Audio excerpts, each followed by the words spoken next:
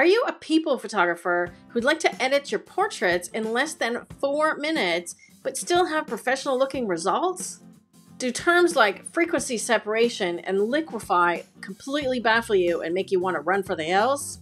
I'm Darlene with Digital Photo Mentor, and in this video, I'll show you my quick portrait editing workflow and I'll tell you about a new option that's coming soon from the folks over at Skylum. It's called Aperty, and I'm quite excited about it. So if you're ready to do some speedy portrait editing, let's get started.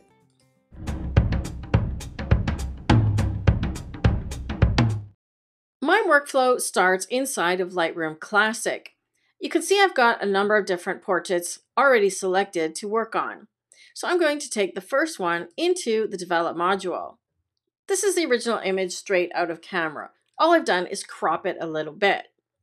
Now I'm going to use some Lightroom presets that I created myself. First, I'm going to bump the exposure a little bit. I'm going to add a nice edge vignette. Warm the image up a little bit. Boost the contrast. And add some portrait editing. This has all been done with presets that I created and saved myself. As you can see, it's applied some basic settings here. I think it's a little bit too warm, so I'll dull a little bit of yellow out, like so. And you can also see the masks that have been applied and the editing that's been done to the skin, for example, to soften it. So remember, presets are a great way to get started and get really close to the final edit that you're looking for without spending a lot of time tweaking all the sliders. I'm not happy with the white balance, so I might play with this one a little bit more. That looks better. So this is how I would proceed and batch process the rest of the images in this photo shoot. They would all have similar lighting and exposure, so I can copy and paste the settings or sync them across multiple images. Let's take a look. I'm going to make these thumbnails a little bit bigger. And I'm just going to select a couple of different images. Now I'm going to hit sync. Even though these are not the same photo shoot, let's see what syncing the settings does here. In Lightroom, you can choose which settings you want to copy and paste or sync from one image to the next.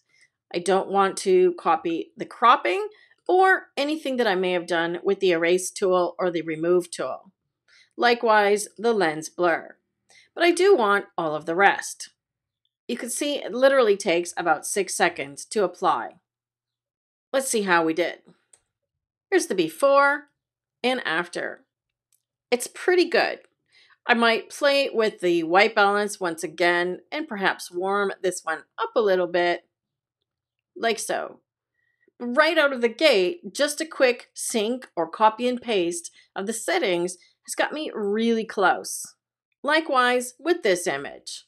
So once again, just adjust the color and voila. This is what I would call basic editing or to the preview level.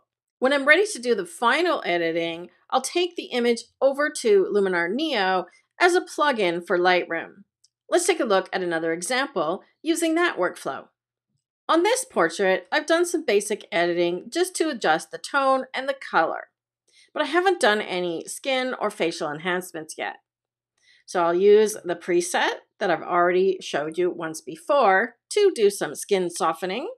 This preset utilizes Lightroom's smart masking features to select face and body skin, eyebrows, hair, pupils, and iris, and so on. And I've already done some settings for each of these.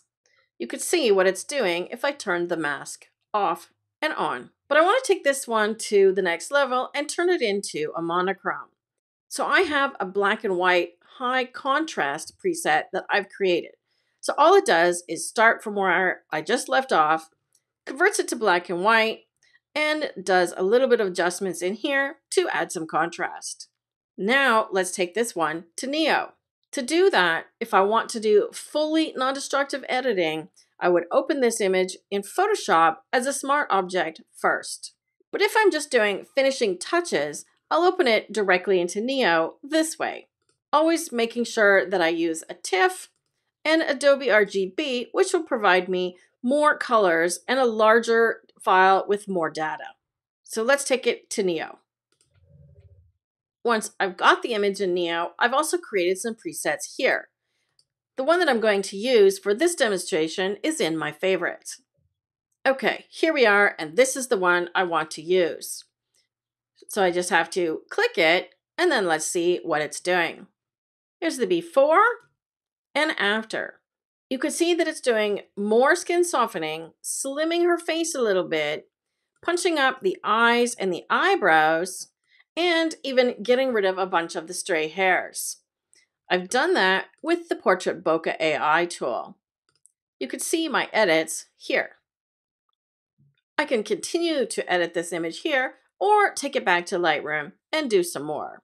Another quick tip that I will give you is use the cloning tool at a lower strength, around 30%, if you want to reduce any fine lines or circles like this under the eye.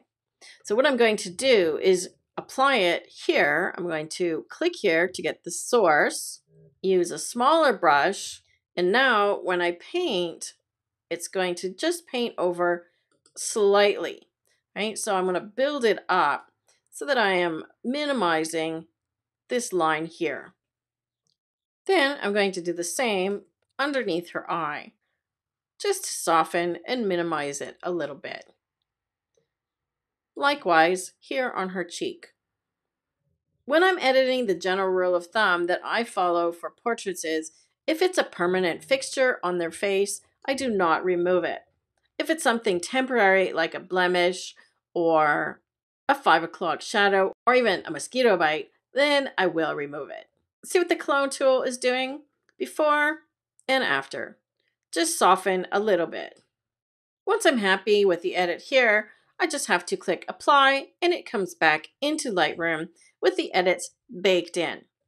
As I mentioned earlier, if you want to do truly non-destructive editing so that you can get back to your Luminar settings at any time, put Photoshop in the middle as an intermediary and use Luminar Neo as a smart filter inside Photoshop. And there's the finished image. Let's see how well that same black and white preset works on a couple of other images. Not bad for one click, right? I think I'll punch the contrast a little bit on this one. And let's do the same on this final image. Black and white portrait, and just like that. So just to recap, in my workflow, I use both Lightroom presets, and you can find my basic Lightroom presets here on the website and Luminar presets. You can find my Luminar presets on the Skylum Marketplace. I'll put a link for both my Lightroom presets and my Luminar Neo Portrait presets in the description area below for you. Now, let's talk about what's new and coming soon, and that is Aperty by Skylum. If you're on the Skylum website, you'll see it here at the top. You'll notice a couple of things here on this page right away. First of all, that it's only available for pre order. And second of all, that there are only 203 licenses left as of the time of recording this video. Well, what does that mean? And what the heck is Aperty, anyways? Let me break it down for you. First of all, what is Aperty? It's a new portrait program being produced by the team at Skylum.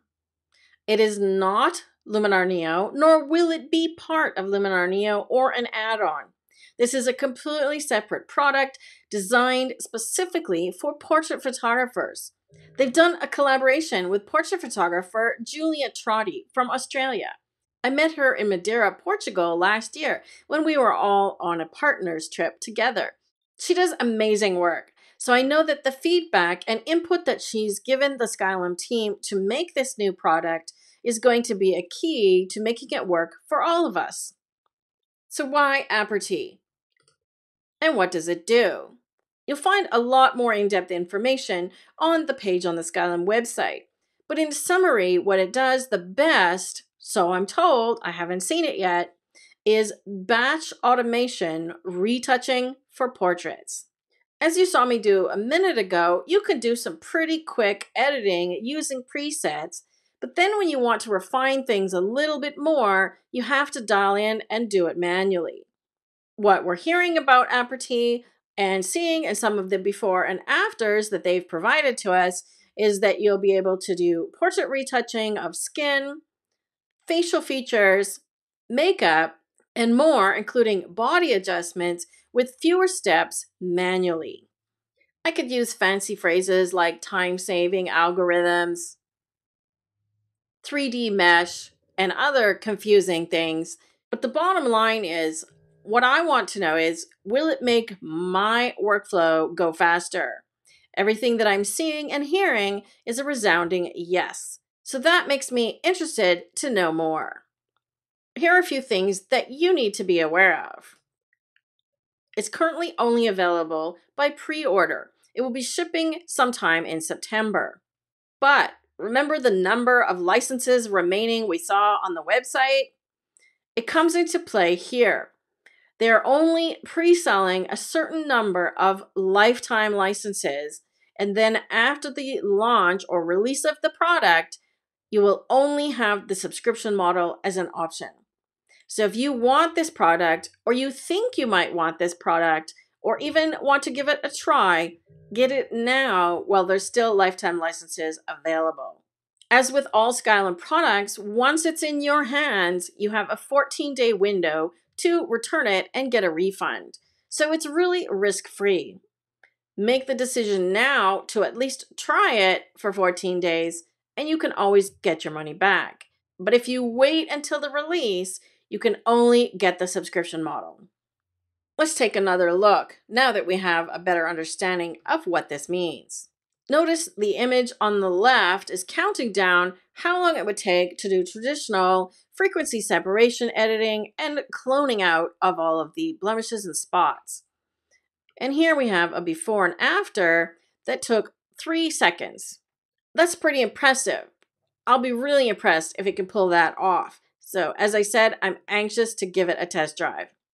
You can see a little bit more of what it does here in terms of blemish removal, smoothing the skin, correcting the skin color, veins in the eyes, adjusting makeup, and even reshaping the face.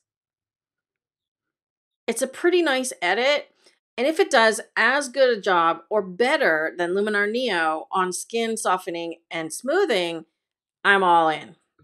Check out the batch processing as well. You'll be able to edit multiple images from the same photo shoot and get a consistent look across the board. And as we've come to expect from all Skylum products, it will have a user-friendly, easy-to-use interface. I don't know about you, but if it can do things like this and this with a click of a button and a couple of tweaks, I'll be pretty impressed. So are you ready to check out Aperty now? I'll put a link for you in the description area below. Make sure you grab your copy before the lifetime licenses are sold out. I should have my hands on an early beta copy sometime near the end of August, so look for a review coming soon. If you'd like to watch another video here on YouTube, click one on the screen now.